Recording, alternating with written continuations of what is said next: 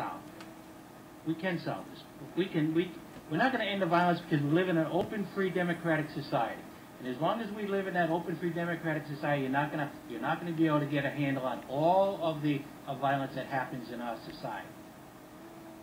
Yes, You, think, get a better handle on it maybe in, in a, in a dictatorship where they just go in and take all your guns and, and, uh, lock down and they have Big Brother watching all over you everywhere. They got cameras on every corner, uh, cameras in every neighborhood. Then, you know, you know. well, we, we have some of know, that going on now. But, but, you know, we don't wanna go down that road. So we have to, de- we have to deal with the challenge within this free and open democratic society.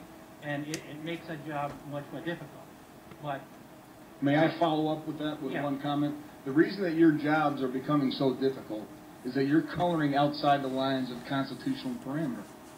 And that's the bottom line. You were trying to, and that's the bottom line. You were trying, I own examples of all these types of firearms and use all these different types of firearms in the shooting sports. Um, they are stored in a substantial safe and in a manner that prevents unauthorized access by anyone other than my wife or myself. I believe the language of the Connecticut Bill of Rights, Section 15, every citizen has a right to bear arms in defense of himself and the state, would tend to show that the founders of our state and nation viewed the law-abiding members of society as trusted partners in the defense of our country, our state, and our towns. Um, that perspective seems in stark contrast to the position I find myself in today. Uh, thank you very much for your time and for your service to our state.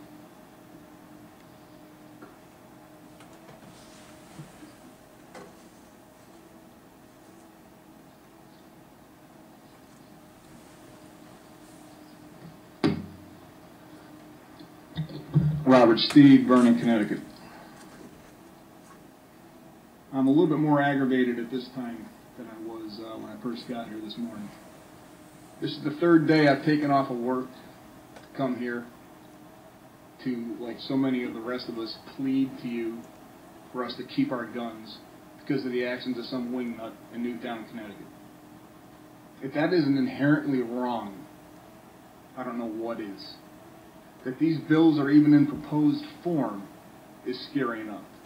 That any of you could be possibly undecided is scary enough. What are you looking at? I applaud those that took so-called Firearms 101. But I can't for the life of me understand how this state can have as many gun laws on the books as it does and have members of its legislature need to take Firearms 101.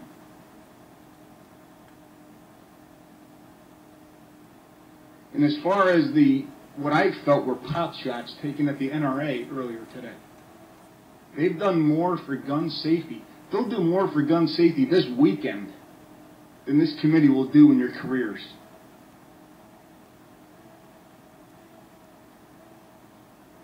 There aren't any gaps in the system every time something goes wrong and every time a crime is committed.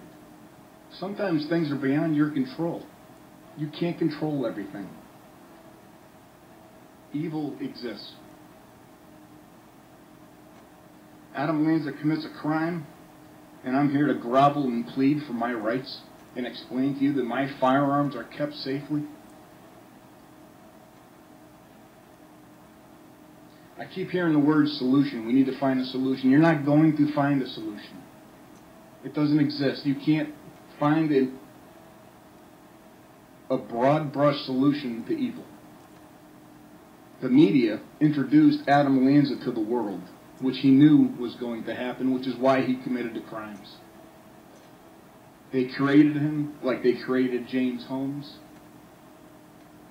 the Columbine murderers.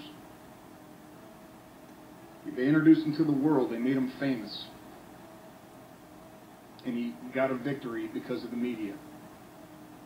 Now there's laws being proposed to steal our rights because of his actions. More victories for Adam Lanza. That you guys are undecided on that is despicable. Any of you. That you may possibly pass any more gun proposals that restrict the rights of citizens in this state will give yet another victory posthumously to Adam Lanza. And that's the bottom line. I don't want to restrict the media. Because they have First Amendment rights, just like I don't want the Second Amendment restricted. But they should have an ethic, there should be an ethical call to the media to stop making martyrs and heroes out of these murderous clowns. And I don't know how else to say it. Anyone have any questions? And thank you for coming before us today. Does anyone have any questions? Uh,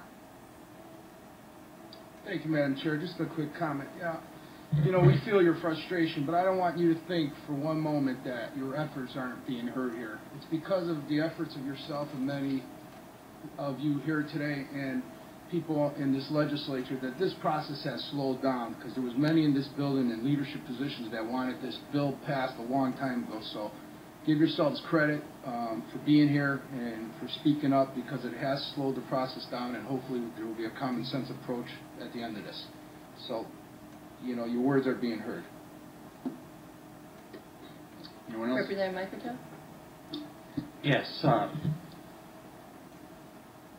I agree with you that uh, evil exists. Uh, I agree with you that uh, you shouldn't have to plead uh, to keep your guns. Uh, But I disagree with you uh, when you said we can't find a solution. We, we- there are solutions out there, and we can, and we, and we know what some of those solutions are.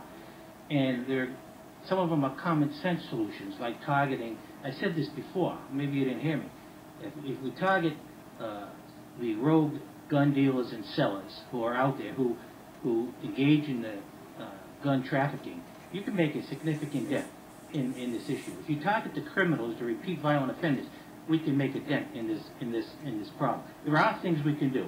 I, I, I don't, we shouldn't, and I hope my colleagues, uh, uh, will agree that uh, we shouldn't uh, just throw up our hands and say the problem is too complex for us to solve. We can solve this. We can. We.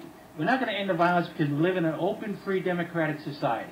And as long as we live in that open, free, democratic society, you're not going to. You're not going to be able to get a handle on all of the uh, violence that happens in our society.